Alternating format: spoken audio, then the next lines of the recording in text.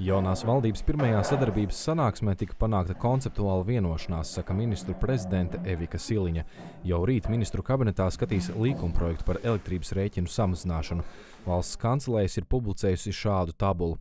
Redzami divi populārākie elektrības pieslēguma veidi. Tieši šī komponente kļūs par 60% lētāka pateicoties valsts atbalstam.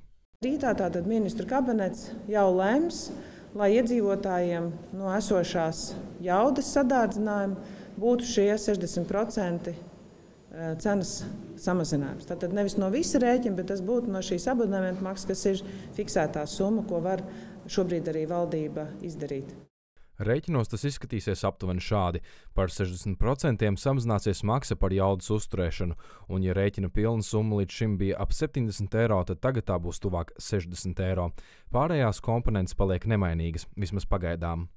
Līdz 1. novembrim ministrijām jānāk ar risinājumu, kādā veidā nākamajā gadā mēs varētu šo lielo kāpumu risināt arī fiziskām personām turpmāk. Vai tas būtu gan elektroenerģijas sadalījuma tīkla tarifu pārskatīšana, kas būtu tātad šie finanšu avoti un kādā veidā mēs nākamā gadā arī varētu šo straujo kāpumu atrisināt. Rīt par šo lēmumu būs jāvienojas ministru kabinetā, pēc tam saimā. Jaunais ekonomikas ministrs Viktors Valēns gan pauž ticību, ka ilgi nebūs jāgaida.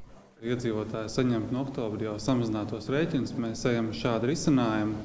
Plānots, ka atbalsts būs spēkā līdz 1. janvārim. Tikmēr ministrijām ir uzdots meklēt vēl citus risinājumus, kā nākamgad samazināt elektrības rēķinus.